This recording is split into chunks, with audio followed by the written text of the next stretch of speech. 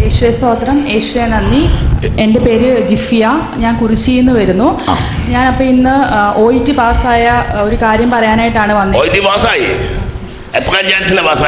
നാലാമത്തെ. നാലാമത്തെ. കൈയടിച്ച് കർത്താവിന് മൊത്തം കൊടുക്കുക ഈ ബുദ്ധി ഇല്ലാഞ്ഞിട്ടൊന്നും അല്ല കേട്ടോ. ആദ്യത്തെ തവണ ജയിക്കാതിരുന്നത്. പ്രാർത്ഥന ഇല്ലാഞ്ഞോണ്ട ദൈവത്തെ ഇച്ചിരി അറിയാനുണ്ടായിരുന്നോ. നിന്റെ തടസ്സങ്ങളും നിന്റെ പ്രതിസന്ധികളുടെയും കാരണം ഇതാണ്. ഹാലേലുയാ. അല്ല പ്രധാനപ്പെട്ടത്. ഇതിനപ്പുറത്തൊരു അനുഗ്രഹം ഇതിനപ്പുറത്തൊരു കൃപ നിനക്ക് സ്വീകരിക്കാനുണ്ട്. മോളെ. അപ്പം രണ്ടായിരത്തി ഇരുപത്തിരണ്ടിൽ ഞാൻ ജൂണിൽ ജൂണിൽ നഴ്സിംഗ് കഴിഞ്ഞ് ഓയിട്ട് പഠിക്കാൻ തുടങ്ങിയതായിരുന്നു. അപ്പോൾ എനിക്ക് ആദ്യം കുറച്ച് അമ്മയ്ക്ക് സർജറി ഒക്കെ വന്നുകൊണ്ട് എനിക്ക് എക്സാം എഴുതാൻ പറ്റിയില്ല. ഞാൻ അങ്ങനെ ആദ്യത്തെ എക്സാം രണ്ടായിരത്തി ഇരുപത്തിരണ്ട് ഡിസംബറിലാണ് എഴുതിയത്. അപ്പം ഡിസംബറിൽ എക്സാം എഴുതി കഴിഞ്ഞാൽ നമുക്ക് റിസൾട്ട് വരാൻ കുറച്ച് ലേറ്റ് ആവും. വൺ മന്ത് ലേറ്റ് ആവും. അപ്പം ഞാൻ വിചാരിച്ച് ജോലിക്ക് പോകാമെന്ന് വിചാരിച്ച് ഞാൻ ഹൈദരാബാദിൽ തന്നെ ഒരു ഹോസ്പിറ്റലിൽ ജോലിക്ക് കയറി. അപ്പോൾ എന്റെ റിസൾട്ട് വന്നപ്പോൾ എനിക്ക് ക്ലബിംഗ് സ്കോർ ഉണ്ടായിരുന്നു. ഒരു രണ്ട് മൊഡ്യൂൾ മാത്രം എനിക്ക് എഴുതിയെടുക്കാൻ ഫസ്റ്റ് ചാൻസ് തന്നെ. ഫസ്റ്റ് ചാൻസ് തന്നെ. അത്ര മോശമൊന്നും അല്ലായിരുന്നു ഞങ്ങൾ അതൊക്കെ ഞങ്ങൾക്ക് എഴുതി കിട്ടുകയൊക്കെ ചെയ്തു. അപ്പം അപ്പം വീട്ടിൽ നിന്ന് ഭയങ്കര നിർബന്ധം തുടങ്ങി. തിരിച്ച് വാ ഒ ടി എഴുത്. ഒരു നമ്മൾ ആറ് മാസത്തിനകം എഴുതിയെടുക്കണം. എന്നാലേ നമുക്കത് പറ്റത്തുള്ളൂ. അപ്പോൾ എനിക്ക് ട്വൽവ് അവർ ഷിഫ്റ്റ് ആയിരുന്നു. അപ്പോൾ എനിക്ക് ജോലി കഴിഞ്ഞിട്ട് വന്നിട്ട് ഒ ടി പഠിക്കാനൊന്നും പറ്റുന്നില്ലായിരുന്നു. അങ്ങനെ പിന്നെ വീട്ടുകാർ നിർബന്ധം കൊണ്ട് ഞാൻ തിരിച്ച് ഇങ്ങ് പോന്നു. അപ്പോൾ തിരിച്ച് വന്ന് ഞാൻ അടുത്ത അപ്പോൾ ഞാൻ ഓരോ എല്ലാ ചൊവ്വാഴ്ച ഞാൻ രണ്ടായിരത്തി പതിനഞ്ച് പത്താം ക്ലാസ്സിൽ പഠിക്കുമ്പോൾ തൊട്ട് ഞാൻ ഇവിടെ വളരുന്ന ഒരു മക്കളെ പത്താം ക്ലാസ്സിൽ പഠിക്കുന്ന നാൾ മുതൽ പുണ്യാളന്റെ മധ്യസ്ഥം തേടി ഈ കൂടാരത്തിൽ വന്ന് കണ്ണീരോടെ ഹൃദയമിടിപ്പോടെ പ്രാർത്ഥിച്ചിട്ട് മകളാണ് തിരുസരിത് നിൽക്കുന്നത്. ഞാൻ എല്ലാ ചൊവ്വാഴ്ചയും ഇവിടെ വന്ന് പ്രാർത്ഥിക്കും. എല്ലാ ദിവസവും ഞാൻ പതിമൂന്ന് ഒവയനെ ചൊല്ലി ഞാൻ പ്രാർത്ഥിക്കുക കൈ അടിച്ച് കർത്താവിന് മൊത്തം കൊടുക്കും മകളെ അപ്പം ഞാൻ അവളെ ഒരു നീ അനുഗ്രഹിക്കപ്പെടുന്നു എന്നതിന്റെ തെളിവച്ച പറയട്ടെ. പതിമൂന്ന് നോവനയില്ലാൻ പറ്റുന്നുണ്ടെങ്കിൽ. അതിന്റെ തിയോളജി ഒന്നും എന്നോട് നിങ്ങൾ ചോദിച്ചേക്കല്ല ദിവസവും പതിമൂന്ന് നോവേല ചൊല്ലാൻ നിനക്ക് പറ്റുന്നുണ്ടെങ്കിൽ നിനക്ക് ചിന്തിക്കാൻ പറ്റാത്തൊരു അനുഗ്രഹം. പതിമൂന്ന് നോവനയില്ലെന്നവരെന്ന് കൈപൊക്കി കാണിക്കാവോ? ദിവസവും പതിമൂന്ന് നോവനയില്ലെന്നവര് ദൈവം നിങ്ങൾ അനുഗ്രഹിച്ചുകൊണ്ടിരിക്കാം മക്കളെ. അങ്ങനെ അക്കാര്യത്തിൽ നിങ്ങൾക്ക് ഒരു ഒരു സംശയം വേണ്ട. ഈശ്വരനാമത്തെ ചവന് പ്രവചിച്ച് പറയുക. ബിഗിൻ ടു പ്രേ ആ പുസ്തകം എളിമപ്പെടണം അതിന്. അതിന് എളിമ ഉണ്ടാവണം ഈ നോവനൊക്കെ ചൊല്ലണമെങ്കിൽ. കാരണം ബുദ്ധിമാന്മാരുടെ വാക്കനെ അല്ലത്. അന്ധവിശ്വാസം എന്നൊക്കെ ചിലർ പറയും. ബുദ്ധിമാന്റെ പ്രാർത്ഥന അല്ല നോവേന എളിയ എളിയവന്റെ പ്രാർത്ഥനയാണ് നോവേന വിശ്വസിക്കുന്നവൻ അനുസരിക്കുന്ന ചില മനുഷ്യർ അച്ഛൻ പറയുന്നതൊക്കെ ഞങ്ങൾ ജീവിച്ചുകൊണ്ടിരിക്കുകയാണ്. അച്ഛൻ പറയുന്ന പോലൊക്കെ ഇതൊക്കെ കേട്ട് എല്ലാവരും കേട്ടുകൊണ്ടിരിക്കുന്നവരെ ഇവിടെ ഇരിക്കുന്ന കൊച്ചു പറഞ്ഞോട്ടെ തീ പിടിച്ചു തുടങ്ങുന്ന മക്കളെ അത്. അഭിഷേകത്തിന്റെ തീ പിടിച്ചു തുടങ്ങുന്നത് ആ. അങ്ങനെ ഞാൻ എല്ലാ ചൊവ്വാഴ്ച ഇവിടെ വരുമ്പോൾ ഒരുപാട് പേര് ഒ ടി പാസ്സായ സാക്ഷ്യം പറയും. ഫസ്റ്റ് അറ്റംപ്റ്റിലും സെക്കൻഡ് അറ്റംപ്റ്റിലും ഒക്കെ ഒ ടി കിട്ടിയ സാക്ഷ്യം. അപ്പം ഞാൻ ഒരു ദിവസം വന്നപ്പോൾ ഞാൻ ഇങ്ങനെ ഇവിടെ വന്ന് അപ്പം സാക്ഷ്യം പറയാൻ ഞാൻ ആദ്യം നേർച്ച നേർന്നില്ലെങ്കിൽ പേടിയായിരുന്നു ഇവിടെ കയറി പറയാൻ. അങ്ങനെ ഒരു ദിവസം ഞാൻ വിചാരിച്ചു ഞാൻ യു കെ പോവുകയാണെങ്കിൽ എന്റെ നാല് കൂട്ടുകാരുണ്ട്. ഒരാൾ എന്റെ കൂടെ ഇപ്പം വന്നിട്ടുണ്ട്. ഞങ്ങൾ- കൊച്ചിലോട്ട് ഒരുമിച്ച് ജനിച്ചു വളർന്നവരാ ഒന്നിച്ച് ജനിച്ചവരാണോ നിങ്ങൾ രണ്ടുപേരും കൂടെ? രണ്ടു രണ്ടമ്മമാര് പറ്റ കൊച്ചുങ്ങളാണ്. ഒന്ന് ഒരേ സമയത്ത് ജനിച്ചതാണോ? അല്ല ഇവിടെ എന്നാലും ജനിച്ചപ്പോ മുതൽ ഒന്നിച്ച പോലെയാ. ആ. കൊച്ചു ജനിച്ചപ്പോ മുതൽ ഒന്നിച്ചാണ്. അതാ പറഞ്ഞു ഞാൻ രണ്ടുപേരും ഒന്നിച്ച് ഞങ്ങൾ അപ്പുറം ഇപ്പുറം വീട്ടിലാണ്? വീടാണ്. അപ്പുറം ഇപ്പുറം വീടാണ്. ദൈവങ്ങളെ ഇങ്ങനെ സ്നേഹിക്കാൻ പറ്റുമോ അപ്പുറം വീണാണ് അസൂയയുടെ കൂത്തരങ്ങാകേണ്ടതിന് പകരം സ്വർഗം പണിത് രണ്ടുപേര്. കൈയടിച്ച് കർത്താവിന് മാത്രം കൊടുത്തു അയലോക്കക്കാരെ അത്രയ്ക്ക് സ്നേഹിക്കാൻ പറ്റുമോ മക്കളെ? പറഞ്ഞു. രണ്ട് കൂട്ടുകാരികളോട് പറഞ്ഞ കാര്യങ്ങൾ. പിന്നെ വേറെ ഒരു കൂട്ടുകാരി ഉണ്ട് അവൾ ഞാൻ അഞ്ചാം ക്ലാസ് തൊട്ട് ഒരുമിച്ച് അവൾക്ക് ഇന്ന് ജോലി ആയതുകൊണ്ട് വരാൻ പറ്റിയില്ല, അപ്പം അവൾക്ക് പിന്നെ വേറൊരു കൂട്ടുകാരിയുടെ അമ്മയ്ക്ക് ഭയങ്കര വിശ്വാസം. അവർ ഹിന്ദുസ് ആണ് രണ്ടുപേരും. അപ്പം ഞാൻ എപ്പോഴും ഇവരോട് അന്തോണി സ്പിനാളുടെ കാര്യമൊക്കെ പറയും. അപ്പോൾ അവർക്ക് ഭയങ്കര വിശ്വാസം. അവർ എന്റെ കൂടെ പള്ളിയിലൊക്കെ വരും. അങ്ങനെ ഞാൻ തീരുമാനിച്ചു. ഞങ്ങൾ എന്ന് നാല് പേർ ഒരുമിച്ച് പോയിട്ട് പാസ്സാവുന്നു. അന്ന് ഞാൻ ഇവിടെ കയറി സാക്ഷ്യം പറയുമെന്ന് ഞാൻ അങ്ങനെ നേർച്ച് നേർന്നു. അതൊരു ഭയങ്കര പണിയാ കൊടുത്തത്. അല്ല ദൈവത്തിന്റെ ഒരു പണി അങ്ങോട്ട് കൊടുത്തു ഞാൻ ചിലപ്പോൾ നാല് പേരും കൂടെ ജയിച്ചാൽ അതൊരു അത്ഭുതമാണെന്ന് പറയാം. ആ. എനിക്ക് ഒറ്റയ്ക്ക് യു കെക്ക് പോകണ്ടായിരുന്നു. ഞാൻ പോയിട്ട് എനിക്ക് ഒറ്റയ്ക്ക് പോകേണ്ട കാര്യമില്ല. മോളെ അങ്ങനെയൊക്കെ പറയാൻ പറ്റണം. ആ. ഇവരെല്ലാവരും ഇവിടെ ആണെങ്കിൽ എനിക്ക് ഭയങ്കര വിഷമമായി. ആ. അതുകൊണ്ട് ഞാൻ അങ്ങനെ പ്രാർത്ഥിച്ചു. അതിന്റെ ഫലമായിട്ട് ജൂലൈയിൽ ഇവൾ ആദ്യം ഈ പറയുന്നൊക്കെ സത്യമാണോ? നീ ഇങ്ങോട്ട് അതെ മുഴുവൻ സത്യമാണ്. തുടക്കം മുതലേ അങ്ങനെ പറയുമായിരുന്നു പാവമാണോ? പാവോ തുടക്കം ആ ആ എന്താ പറഞ്ഞു? ആ ഓക്കെ പറഞ്ഞു. ആ നമുക്ക് സർട്ടിഫിക്കറ്റ് വേണമല്ലോ. ഇല്ലാതെ നമ്മൾ ചുമ്മാ എന്ന് പറഞ്ഞാൽ തീർന്നു അവിടെ നിന്ന് ആ പറഞ്ഞു. ഇവൾ ആദ്യം ജൂലൈയിൽ ഒയിറ്റ് പാസ്സായി. അത് കഴിഞ്ഞിട്ട് ഞാൻ ഒക്ടോബറിൽ ഒയിറ്റ് പാസ്സായി. അത് അപ്പൊ ഞാൻ ഒരു നേർച്ച നേർന്നായിരുന്നു. ഡിസംബർ പന്ത്രണ്ടാം തീയതിക്ക് മുന്നേ ഞങ്ങൾ നാല് പേര് ഒയിറ്റ് പാസ്സായിട്ട് അവരെ ഡിസംബർ പന്ത്രണ്ടിന്റെ പ്രത്യേകത എന്നാ? അത് ലാസ്റ്റ് ചൊവ്വാഴ്ച ആയിരുന്നെന്ന് തോന്നുന്നു. അല്ല. ഞാൻ അത് അന്നോ എനിക്ക് അങ്ങനെ മനസ്സിൽ തോന്നിയൊരു അതായത് വിമലഗിരി മാതാവിന്റെ പെരുന്നാളിന്റെ പിറ്റേ ചൊവ്വാഴ്ചയാണ്. വിമലഗിരി മാതാവിന്റെ പെരുന്നാൾ കഴിഞ്ഞ ചൊവ്വാഴ്ച അത് ആ. ഡിസംബർ പന്ത്രണ്ടാം തീയതി ഇവർ നാല് പേരായിട്ട് ഇവിടെ ഒന്ന് സാക്ഷ്യം പറയാനാണ് നേർന്നത്. അങ്ങനെ ഞാൻ ഒക്ടോബറിൽ ഒയിറ്റ് പാസ്സായി. പിന്നെ നവംബറിൽ എന്റെ ഒരു കൂട്ടുകാരിയുടെ പാസ്സായി. പക്ഷെ എന്റെ ഒരു കൂട്ടുകാരി എന്റെ കൂടെ അഞ്ചാം ക്ലാസ് തൊട്ട് പഠിച്ച അനഘ എന്നാണ് അവളുടെ പേര്. അവൾക്ക് മാത്രം അന്നത്തെ എക്സാമിൽ ഒയിറ്റ് കിട്ടിയില്ല. കിട്ടിയില്ല. അപ്പോൾ എനിക്ക് ഒരുപാട് വിഷമമായി. ഇപ്പോൾ ഞാൻ എപ്പോഴും ഒയിറ്റ് നോക്കുമ്പോൾ ഇവിടെ വന്ന റിസൾട്ട് നോക്കുന്ന ഞാൻ തിങ്കളാഴ്ച റിസൾട്ട് വന്നാലും ഞാൻ ഓപ്പൺ ചെയ്യത്തില്ല. ചൊവ്വാഴ്ച പള്ളി വന്ന് പ്രാർത്ഥിച്ചിട്ട് ഇവിടെ വന്നേ ഞാൻ ഓപ്പൺ ചെയ്യത്തുള്ളൂ. അപ്പം എന്റെ റിസൾട്ട് വന്നപ്പോൾ ഇവിടെ എന്നോട് ഒരു ദിവസം ഞങ്ങൾ രണ്ടുപേരും വന്ന് നോക്കി. അപ്പോൾ ഇവളോട് ചോദിച്ചു ജിഫയ്ക്ക് ഇപ്പോൾ സന്തോഷമായില്ലേ? നമുക്ക് ഒരുമിച്ച് യു കെ പോകാമല്ലോ എന്ന് ചോദിച്ചു. അപ്പോൾ ഞാൻ പറഞ്ഞു ഒരിക്കലും എനിക്കിപ്പോൾ സന്തോഷമാവത്തില്ല. അവരിവിടെ എന്ന് പാസ്സാവുന്നു. അന്ന് എനിക്ക് സന്തോഷമാവത്തുള്ളൂ എന്ന് പറഞ്ഞു അപ്പം പക്ഷെ അവൾക്ക് നവംബറിൽ എക്സാം ആയിരുന്നു. അതിന് അവൾക്ക് കിട്ടിയില്ല. അവൾക്ക് സ്കോർ ഒരെണ്ണം സി ആയി ആയിപ്പോയി റീഡിങ്ങിന് അതുകൊണ്ട് എനിക്ക് ഡിസംബർ പന്ത്രണ്ടാം തീയതി സാക്ഷ്യം പറയാൻ സാധിച്ചില്ല.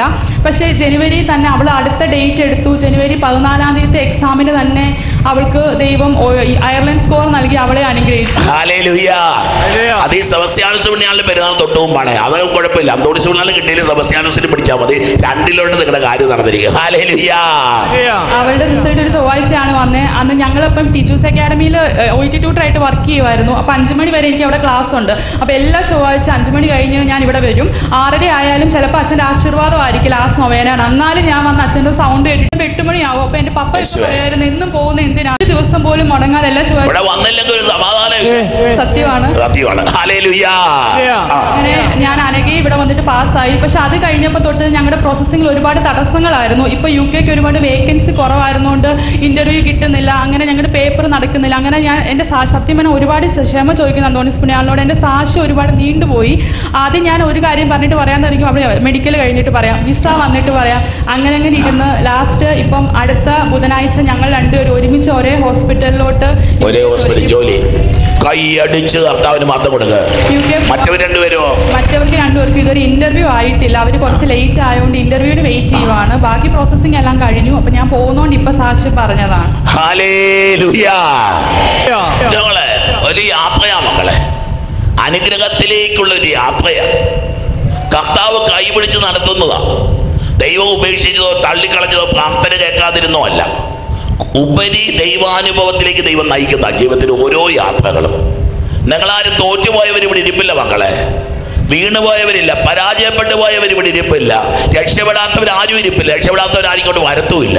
രക്ഷപ്പെടാനുള്ളവർ അനുഗ്രഹിക്കപ്പെടാനുള്ളവർ കൃപ പ്രാപിക്കാനുള്ളവർ മാത്രമാണ് ഈ ശുശ്രൂഷാകത്തിലേക്ക് കടന്നു വരുന്നത്. ഹലേ ലുയാ ഹലേ ലുയാ ഒരുപാട് വചനങ്ങൾ ഞാൻ ആയിരം പ്രാവശ്യം എഴുതി നഴ്സിംഗ് പഠിക്കുന്ന കാലം തൊട്ടേ ഞാൻ ഒരു വചനം മാത്രം പറഞ്ഞു നിനക്ക് I can do all the things to Christ who strengthens me എന്നുള്ള വചനം. ഞാൻ പല വചനങ്ങൾ എഴുതുമായിരുന്നു പക്ഷെ ഒരു ദിവസം ഞാൻ പള്ളി പ്രാർത്ഥിച്ചുകൊണ്ടിരുന്നപ്പം ഈ വചനം ഞാൻ എപ്പോഴും സങ്കീർത്തനം മാത്രമേ വായിക്കത്തുള്ളൂ. കാര്യം I can do all the things to Christ who strengthens me Philippians നാലിന്റെ പതിമൂന്ന്. നാല് പതിമൂന്ന്. എന്നെ ശക്തനാക്കുന്നവനിലൂടെ എനിക്കെല്ലാം ചെയ്യാൻ കഴിയും. Can do everything in him. Hallelujah.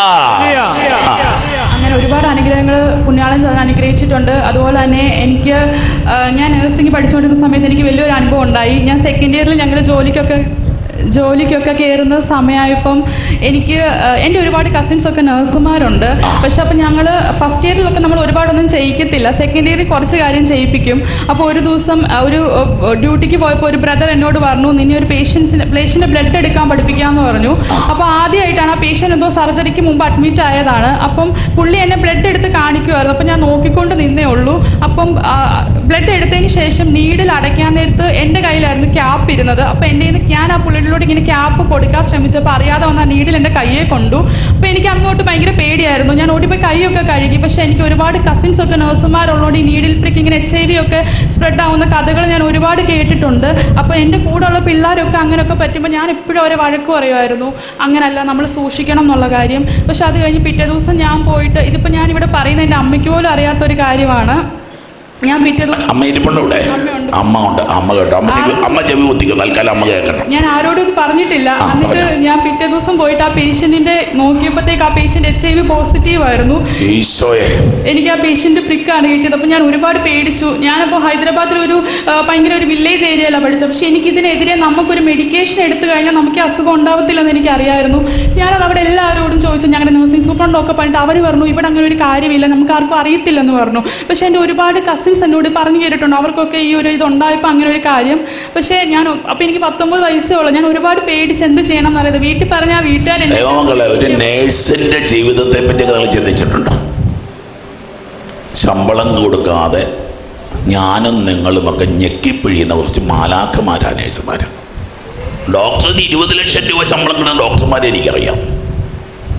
ഈ പാവങ്ങൾക്ക് കിട്ടുന്ന പതിനയ്യായിരം രൂപ.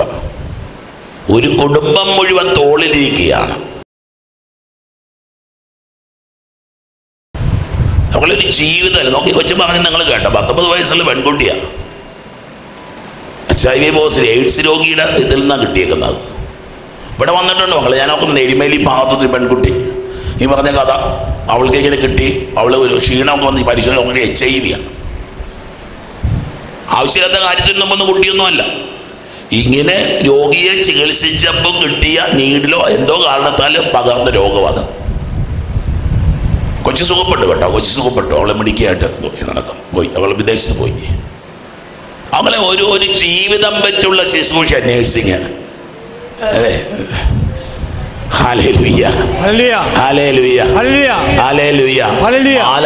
സത്യത്തിൽ. കാരണം ഒരു എന്തൊക്കെയാണ് അവർ ചെയ്യുന്നത് നിങ്ങൾ ശ്രദ്ധിച്ചിട്ടുണ്ടോ? ഞാൻ പലപ്പോഴും ശ്രദ്ധിച്ചിട്ടുണ്ട്. ഡോക്ടർമാർക്ക് പോലും ഇല്ലാത്തൊരു അറ്റാച്ച്മെന്റും അഫക്ഷനും രോഗികളോട് നേഴ്സുമാർ കാണിക്കാറുണ്ട്. സ്വന്തം അപ്പനെ അമ്മയെയൊക്കെ നോക്കുന്ന പോലെ നോക്കാൻ ഇതൊരു ഒരു ദൈവവിളിയാ. ഒരു വലിയ ദൈവവിളിയാ ഒരു നേഴ്സാകുക എന്നൊക്കെ ഉള്ളത്. ഇന്ന് പിന്നെ വിദേശത്തൊക്കെ പോയി അവർ അത്യാവശ്യം അവിടേക്ക് പോകുമ്പോൾ പൈസ ഇവിടെയുള്ള മക്കളും വളരെ തുച്ഛമായ ശമ്പളം വാങ്ങിച്ച്.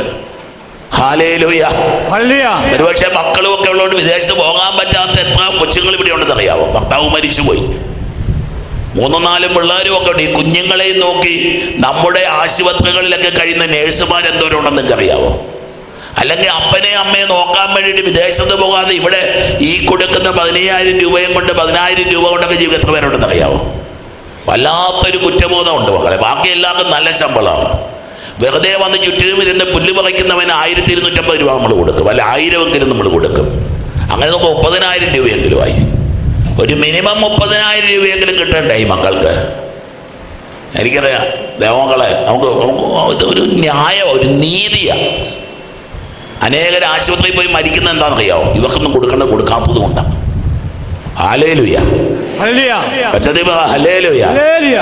ഞാൻ ആർക്കും വേണ്ടി പറഞ്ഞു എന്റെ മനസാക്ഷി പറഞ്ഞു ഞാൻ നിങ്ങളെ പറഞ്ഞു കേൾപ്പിച്ചെന്നേ ഉള്ളൂ.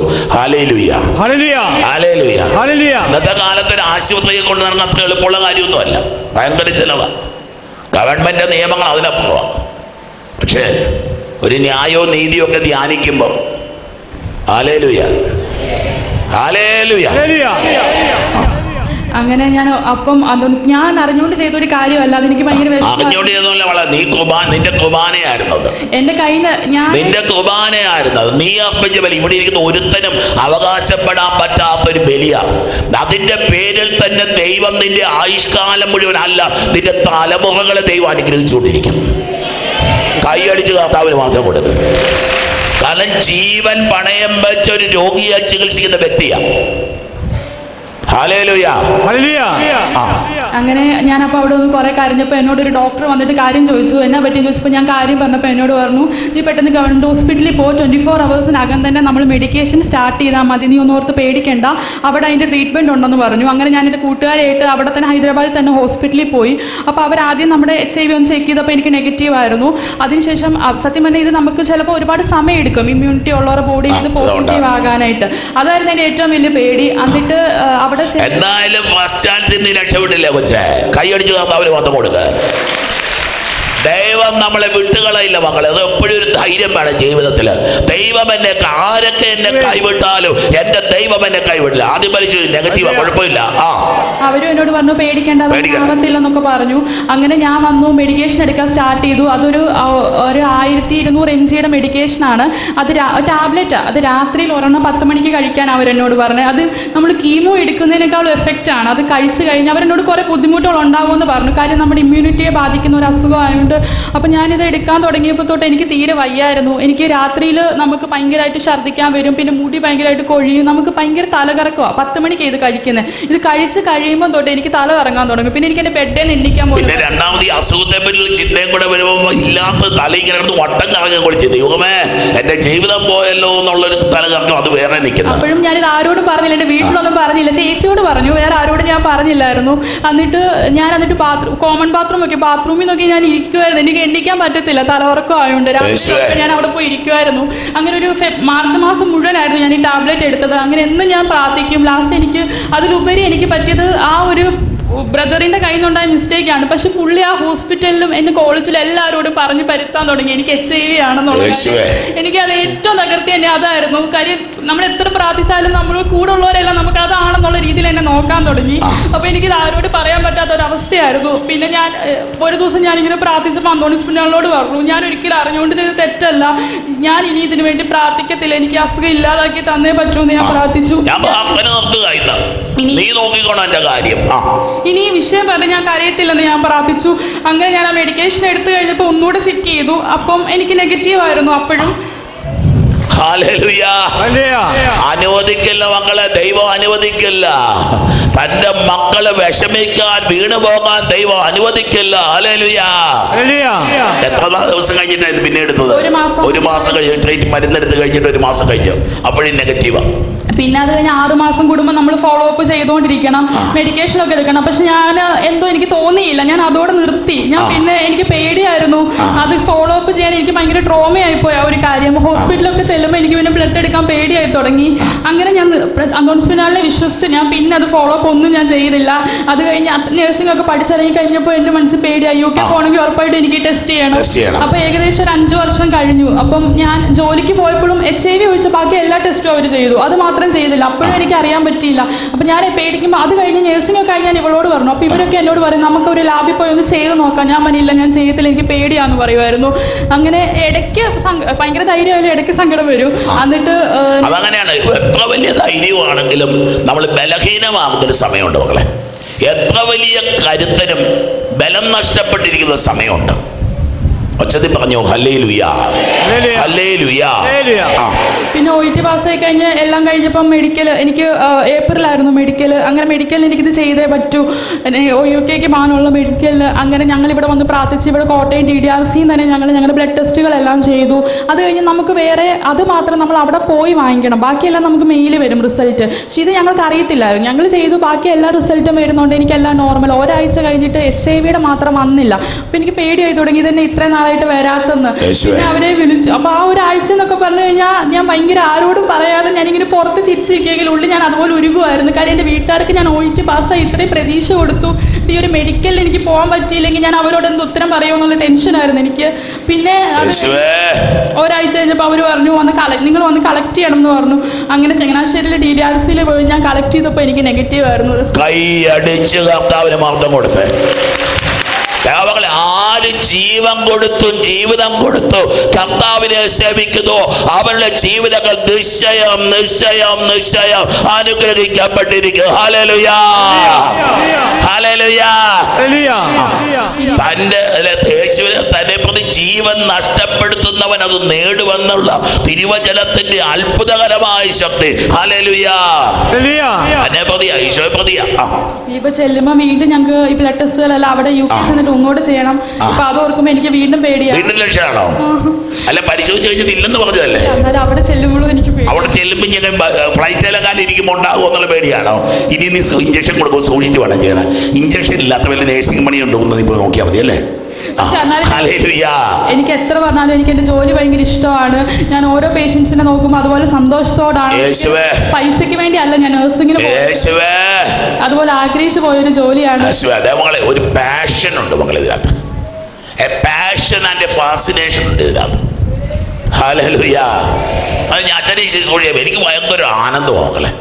ഒന്നിനും വേണ്ടിയിട്ടൊന്നല്ല ഇതിന്റെ ഒരു ആനന്ദമുണ്ട്. നിങ്ങൾ കുറച്ച് പേര് കാര്യം നിങ്ങൾ തലയൊക്കെ വെച്ച് പ്രാർത്ഥി പ്രാർത്ഥിക്കും അനുഗ്രഹിക്കും നിങ്ങൾ വന്നു അച്ഛൻ സുഖപ്പെട്ടു. അത് കിട്ടുന്നത് നിങ്ങൾ എന്നാ തന്നാലും കിട്ടാത്തൊരു ആനന്ദമുണ്ട് മക്കളെ ഇതിനകത്ത്. ഈ യേശുവിനെ നാമൊക്കെ ഇങ്ങനെ വിളിച്ചു കഴിയുമ്പോൾ ഈ മക്കളൊക്കെ സാക്ഷ്യം പറയുമ്പോൾ ഒരു വല്ലാത്തൊരു ആനന്ദം മനസ്സിൽ നിറയുക.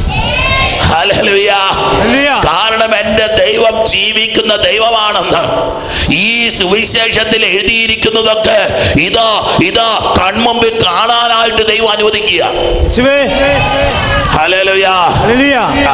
അതുപോലെ തന്നെ ചേർന്ന് വലുതായിട്ട് ഒരുപാട് അനുഗ്രഹങ്ങൾ അന്തോണിസ് പുണ്യാളം തന്നു. എന്റെ അമ്മയുടെ ഒരു സർജറിയുടെ കാര്യം അമ്മയ്ക്ക് യൂട്രസിന് ബ്ലീഡിങ്ങിന്റെ ഇഷ്യൂസ് ഒക്കെ ഉണ്ടായിരുന്നു. പക്ഷേ കോവിഡ് അങ്ങനെ കുറേ കാര്യങ്ങളായിട്ട് അമ്മ അത് മാറ്റി വെച്ചു. അത് കഴിഞ്ഞ് രണ്ടായിരത്തി ഇരുപത്തിരണ്ട് ഞങ്ങൾ ഡോക്ടറെ കാണാൻ പോയപ്പോൾ ഡോക്ടർ വഴക്ക് പറഞ്ഞു. അത് ഒത്തിരി കൂടിയിട്ടുണ്ടായിരുന്നു. നിങ്ങൾ എന്താണ് ഇതിങ്ങനെ വെച്ചുകൊണ്ടിരുന്നതെന്നൊക്കെ ചോദിച്ചു.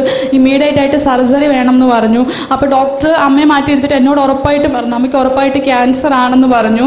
എന്നിട്ട് ആദ്യം ബയോപ്സി ചെയ്തപ്പോൾ നെഗറ്റീവ് ആയിരുന്നു. അപ്പോൾ ഡോക്ടർ പറഞ്ഞു എന്നാലും നമ്മൾ പുറമേ നിന്ന് ബയോപ്സി ചെയ്യുമ്പോൾ കുറച്ച് മാത്രമേ എടുക്കാൻ പറ്റത്തുള്ളൂ. ഫുള്ളായിട്ട് ചെയ്താൽ മാത്രമേ നമുക്ക് അറിയാൻ പറ്റത്തുള്ളൂ എന്ന് പറഞ്ഞു. അങ്ങനെ അമ്മയുടെ സർജറി കഴിഞ്ഞിട്ട് യൂട്രസ് എടുത്ത് അപ്പോൾ എന്നെ ഡോക്ടർ ഓൾറെഡി കാണിച്ചു. ആ ഒരു മേളിൽ ഇങ്ങനെ ഒരു പ്രശ്നമുള്ളതൊക്കെ എന്നെ കയറി കാണിച്ചായിരുന്നു.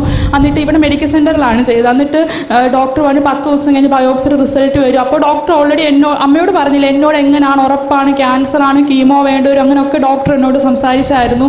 അത് കഴിഞ്ഞ് ഞാൻ ഇപ്പോൾ എന്റെ അമ്മ പപ്പായോടും ചേച്ചിയോടും പറഞ്ഞു. അമ്മയോട് പറഞ്ഞില്ല അമ്മയ്ക്ക് സർജറി ടെൻഷൻ ആവുമെന്ന് ഓർത്ത് ഞങ്ങൾ എന്നും പ്രാർത്ഥിക്കുമായിരുന്നു ഞാൻ എന്നും മുട്ടൂത്തി പെണ്ണാലിന്റെ അടുത്ത് പ്രാർത്ഥിക്കും.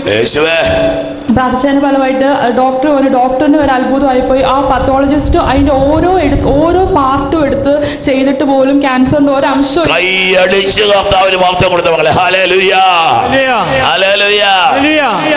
പിന്നെ എന്റെ ചേച്ചി ദുബായി പോയി ഹസ്ബൻഡിന്റെ അടുത്ത്. അപ്പൊ ആറ് മാസമായിട്ട് അവർക്ക് ജോലി ആവുന്നില്ലായിരുന്നു അപ്പൊ ഇവിടെ വരുമ്പോൾ എല്ലാവരും സാക്ഷ്യം പറയും പതിമൂന്നാഴ്ച നേർന്ന് പ്രാർത്ഥിച്ച് ഒമ്പതാഴ്ച. അപ്പൊ ഞാൻ അമ്മ ഒരു ദിവസം ഞാൻ അമ്മയോട് ചോദിച്ചു അമ്മ നമ്മൾ എല്ലാ ചൊവ്വാഴ്ച വന്നിട്ടും നമ്മൾ പറയുന്ന കാര്യം നമ്മൾ എണ്ണിയില്ല എണ്ണണം.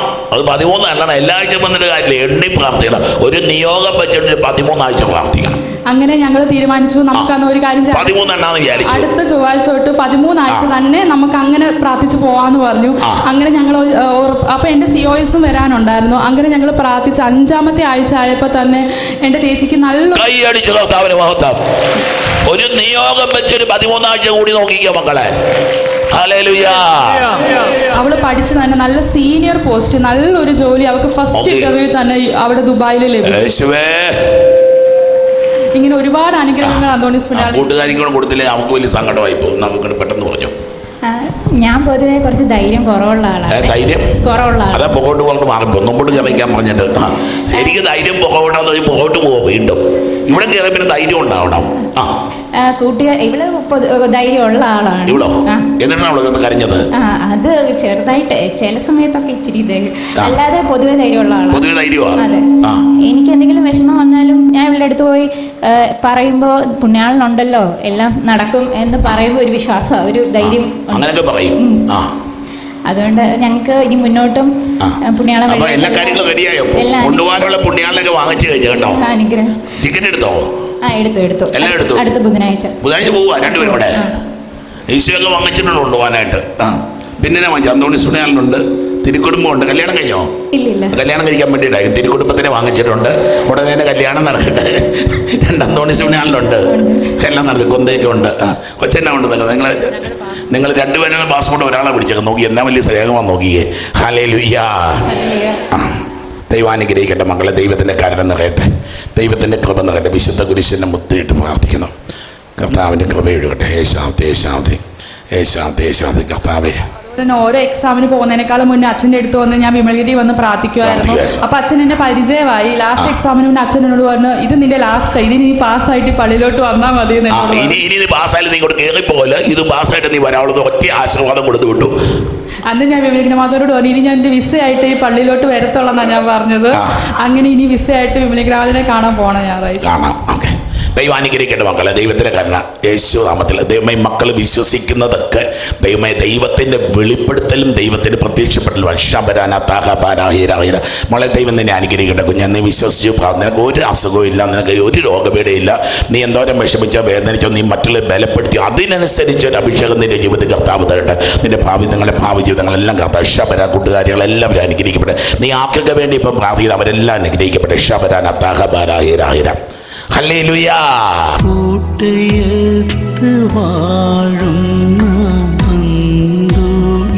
പുണ്യവാനെ സ്വീകരിക്കൂ കൈകൾ നീട്ടി ആപിയാമിൻ അർത്ഥനകൾ. ഉപേക്ഷിച്ചാലുപേക്ഷിക്കാതെ